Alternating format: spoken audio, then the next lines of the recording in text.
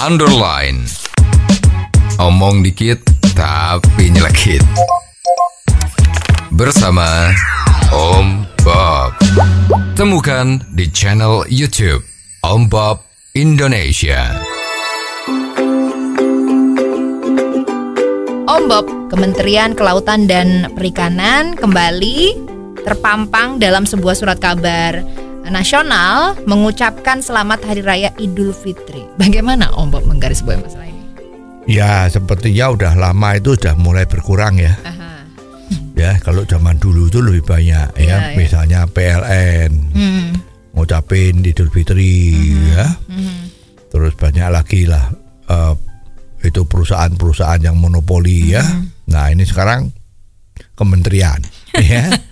Kementerian Kelautan Iya, ya. betul. Wah, itu kan memang ada dana untuk sosialisasi kan Ah. ya sebetulnya. Nah, tapi kita lihat itu ternyata yang keluar sosialisasinya itu satu halaman ber- berwarna di harian terkemuka di Iya. Jakarta. Iya. Ya, itu kalau di, ditanya kepada pihak penerbitnya itu Hmm. untuk memasang iklan satu halaman berwarna itu Hmm. tidak kurang dari 300 juta rupiah satu kali tayang. Hmm. Nah, sekarang pertanyaannya bukan soal itu duitnya ada atau tidak ya, tapi sebetulnya ini maksud dan tujuannya apa? Ya. Nah, ini kan mengucapkan selamat Idul Fitri. Hmm. Nah, mengucapkan Idul Fitri itu kan ya udah sewajarnya kan. Tapi kalau ini masangnya iklan satu halaman, Hmm. itu gimana? ya.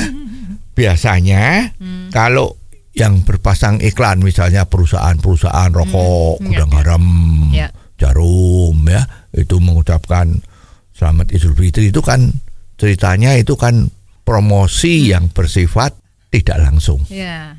tidak bilang iseplah rokok enggak ya tapi brandnya menyebutkan bahwa ini mengucapkan selamat Idul Fitri Betul. jadi untuk menarik simpatik Hmm. pada konsumennya Ya, ya. ya agar supaya ingat oh ya ternyata brand brand-brand yang beriklan Hmm. untuk mengucapkan Idul Fitri itu Hmm. adalah tidak sekedar cari duit tetapi ya punya simpati ucapan terima kasih macam-macam Hmm. dengan harapan orang tersebut tidak lupa Hmm. kalau mau beli makanan fast food Hmm. ingat oh ini yang simpatik sama kita seperti itu kan Ya. Jadi tujuannya seperti itu ya banyak kan iklan-iklan dari bank Ya. itu juga ngucapin Betul. selamat Idul Fitri ya tujuannya supaya konsumennya atau pelanggannya itu tetap terikat secara moral Ya. oh ya jadi ini memang tujuannya yang paling benar itu kan untuk promosi agar brandnya diingat Betul. nah sekarang kalau Kementerian Kelautan Loh, dia itu kan nggak ada musuhnya ya artinya nggak ada musuh di dalam bisnis kan Ya. ya kan? Siapa musuhnya? Tidak ada. Hmm. Bang itu kementerian. Hmm. Ya, tapi masang iklan yang satu halaman ya beberapa tokoh-tokoh pejabatnya itu keluar Betul. ada fo- foto-fotonya keluar gitu kan. Nah, untuk mengucapkan Idul Fitri ya. Kalau ada seperti ini yang seneng siapa? Yang seneng yang pejabat-pejabat yang fotonya di dalam iklan itu Ya, ya, ya, ya. pastilah. Begitu iklan dimuat pasti ada berebut untuk melihat. Oh ini saya oh ini saya. Pasti pasang di koran itu kan. Jadi eksistensinya untuk pribadinya dia. Ya ini kan terus terang loh ya. Ini kan jadi pemborosan kan. Betul. ya jadi uang 300 juta untuk ucapan seperti itu. Ya gagah-gagahan ya sebetulnya yang patut digagahkan itu kan kalau dia punya kementerian kerjanya baik. Ya tidak ada korupsi ya. Terus aturan-aturannya itu benar. Itu udah semua orang udah oke. Ya. ya tapi kalau dirinya sendiri beriklan untuk mengucapkan apa? Tadi itu selamat Idul Fitri ya. Nanti kan masih ada kalau kalau sudah seperti ini kan nanti selamat tahun baru selamat hari Natal. Iya, nah itu iya. tuh ya terus terang tidak tepat ya. Pelurunya yang 300 juta tadi itu tidak tepat buat menembak seperti itu. Ya. ya mestinya hal itu kan juga lebih bagus meningkatkan pelayanannya terhadap masyarakat yang butuh berhubungan dengan Kementerian Kelautan tadi itu ya. Jadi bukan seperti ini.